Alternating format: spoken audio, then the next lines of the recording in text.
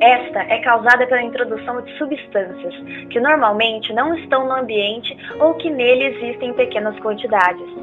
Poluente é o detrito introduzido num ecossistema não adaptado a ele. Um exemplo de poluente, o gás carbônico, CO2.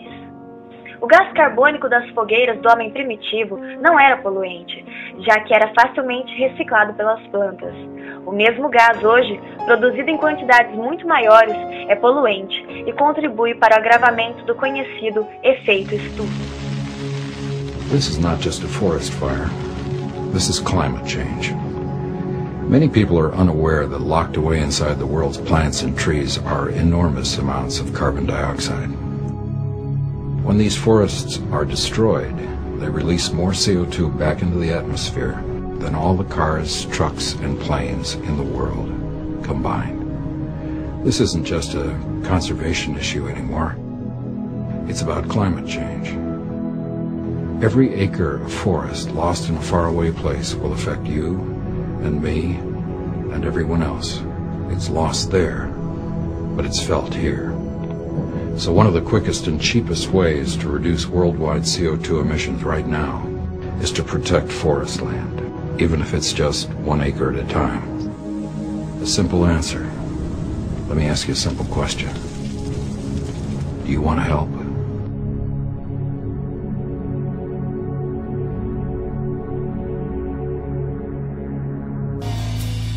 When rainforests get slashed and burned, it releases tons of carbon into the air we breathe.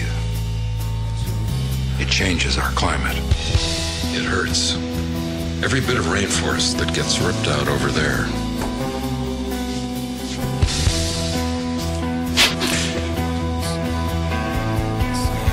really hurts us over here.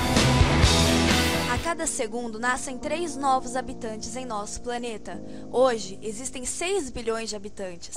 A população humana está crescendo em 100 milhões de pessoas por ano, o que significa mais 1 bilhão de pessoas para a próxima década. 90% desses nascimentos ocorrerão nos países subdesenvolvidos. Até o ano de 2150, estima-se que chegaremos a quase o dobro da população atual. O crescimento das populações humanas aumenta terrivelmente a gravidade dos problemas que a Terra já enfrenta. Eis alguns deles: maior necessidade de energia. Por enquanto, gerar energia leva a um aumento da poluição, à destruição de ecossistemas ou ainda a riscos de contaminação por radiação. Métodos menos poluentes, como energia solar, poderão talvez resolver o problema. Mais bocas para nutrir implicando maior produção de alimento e, portanto, necessidade crescente de terras agriculturáveis às custas de mais desmatamento. Hoje, o planeta perde um hectare de solo aproveitável para a agricultura a cada 8 segundos. Além disso, a utilização intensiva de adubos e pesticidas aumentaria a poluição do solo e dos lençóis de água.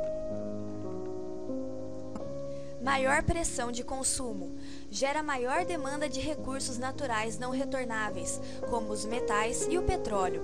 Além do esgotamento precoce desses recursos, mais resíduos serão produzidos, intensificando a poluição.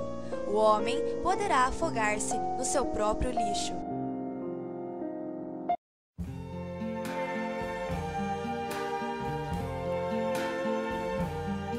I see trees of green, red roses too. I see them bloom for me and you. And I think to myself, what a wonderful world.